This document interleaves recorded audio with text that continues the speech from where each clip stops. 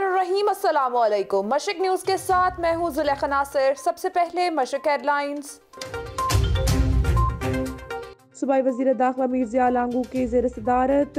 String committee کا اعلیٰ سطحی اجلاس۔ صوبائی وزیر پی ایچ ای واسا حاجی نور محمد دمر کا کہنا تھا کہ بلوچستان میں ترقی کا پہیہ چل پڑا ہے۔ ملک کی تعمیر و ترقی میں بلوچستان کا کردار اہمیت کا حامل ہے۔ پاکستان کی اقتصادی ترقی اور معاشی ترقی میں بلوچستان کا کلیدی کردار ہے۔ حکومت نے ہمسایہ ممالک ایران اور افغانستان میں کرونا وائرس کے پیش نظر متاثرہ افراد کو علیحدہ رکھنے کے لیے Fatima Jinnah chest and general ہسپتال کوئٹہ میں آئسولیشن سینٹر کا قیام کر دیا ہے۔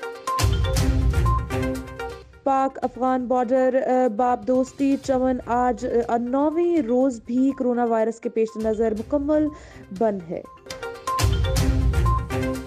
پنجگور سے آپ کو اپڈیٹ کریں، پنجگور کے علاقے گوار گو میں نامعلوم مسلح افراد کا گھر پر حملہ۔ ہیڈ لائنز آپ نے جانی، اب خبریں تفصیل کے ساتھ۔ صوبائی وزیر داخلہ میرزیا لانگو کا کہنا ہے کہ قانون کی بالادستی پر کوئی سمجھوتا نہیں کیا جائے گا۔ عوام کی جان و مال کے تحفظ کے لیے قوانین پر عمل درآمد کے لیے تمام وسائل کو بروئے کار لایا جائے گا۔ صوبے میں امن و امان کی صورتحال کو برقرار رکھنے کے لیے موجودہ حکومت مؤثر اقدامات اٹھا رہی ہے۔ اجلاس میں ایڈیشنل چیف سیکریٹری داخلہ Hafiz Basit, I G police Balochistan Mohsin Hassan Butt, سابق I G police Tariq Mehmood Khosa و اعلیٰ حکام کی شرکت۔ کوئٹہ سے آپ کو اپڈیٹ کریں، کرونا وائرس کا خدشہ محکمہ پی ڈی ایم اے کی جانب سے میاں گنڈی کے مقام پر کوارنٹائن سینٹر قائم کر دیا گیا۔ کوارنٹائن سینٹر میں بیک وقت ایک ہزار سے زائد لوگوں کو رکھنے کی گنجائش ہے۔ ڈپٹی ڈائریکٹر فیصل طارق کا کہنا ہے کہ کوارنٹائن میں ایران سے آنے والے باشندوں کو رکھا جائے گا۔ ان کا مزید یہ کہنا تھا کہ میاں گنڈی کوارنٹائن سینٹر میں آنے والوں کو خوراک، گرم کپڑے اور طبی سہولیات فراہم کی جائیں گی۔ وزیر اعلیٰ بلوچستان اور صوبائی وزیر داخلہ کی ہدایت پر سینٹر قائم کیا گیا ہے۔ D G P D M میں عمران زرکون کی جانب سے سینٹر میں تمام بنیادی سہولیات کے فراہمی کے احکامات جاری کیے گئے تھے۔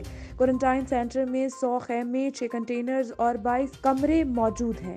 صوبائی وزیر پی ایچ ای واسا حاجی نور محمد دمر کا کہنا ہے کہ بلوچستان میں ترقی کا پہیہ چل پڑا ہے۔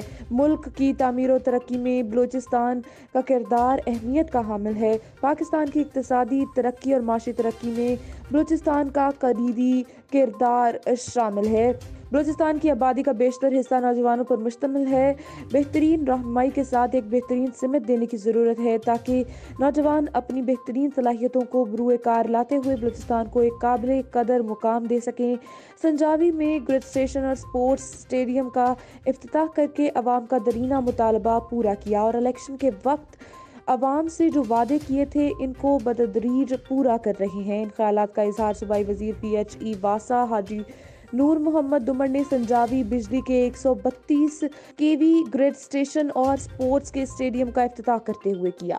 پاک افغان بارڈر باب دوستی چمن آج نویں روز بھی کرونا وائرس کی وجہ سے مکمل طور پر بند ہے، جس سے رضاکارانہ طور پر افغان مہاجرین کی وطن واپسی بھی عارضی طور پر مؤخر ہے، جبکہ پاک ایران بارڈر تفتان پر بھی ہر قسم کی تجارتی سرگرمیاں معطل ہیں۔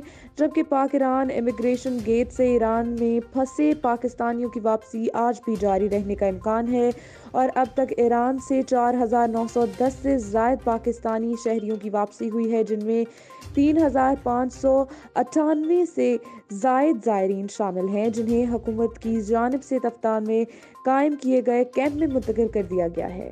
حکومت نے ہمسایہ ممالک ایران اور افغانستان میں کرونا وائرس کی موجودگی کے پیش نظر، کرونا وائرس سے متاثرہ افراد کو علیحدہ رکھنے کے لیے Fatima Jinnah chest and general ہسپتال کوئٹہ اور شیخ زید ہسپتال میں آئسولیشن کا قیام، جبکہ ضلعی ہسپتال میں علیحدہ کمروں کا بھی انتظام کیا ہے۔ جبکہ تفتان میں پاکستان ہاؤس اور کوئٹہ میں شیخ زید ہسپتال اور P C C I R centre Quetta کو کرنٹینہ سینٹر قرار دیا گیا ہے۔ پنجگور کے علاقے گوارگو میں نامعلوم مسلح افراد کا گھر پر حملہ۔ حملے کے دوران چھوٹے بڑے ہتھیاروں سے حملہ کیا گیا، جس کے نتیجے میں تین افراد جاں بحق جبکہ ایک خاتون شدید زخمی ہو گئے۔ مسلح افراد ایک شخص کو اغوا بھی کر کے لے گئے ہیں۔ واقعے کی اطلاع ملنے کے بعد لیبیز فورس روانہ ہو گئی تھی، جہاں پر انہوں نے پہنچ کر لاشوں اور زخمیوں کو پنجگور ہسپتال منتقل کر دیا گیا ہے۔ فائرنگ کے نتیجے میں جاں بحق ہونے والے افراد کی شناخت رحم دل محمد صادق نسیم شامل ہیں، جبکہ مسلح افراد یاسر نامی شخص کو اغوا کر کے لے گئے ہیں۔ نیوز اسٹوڈیو سے فی الوقت اتنا ہی۔ مزید خبروں اور اپڈیٹس کے لیے وزٹ کیجیے ہماری website Mashriq H D dot T V اور دیکھتے رہیے مشرق نیوز۔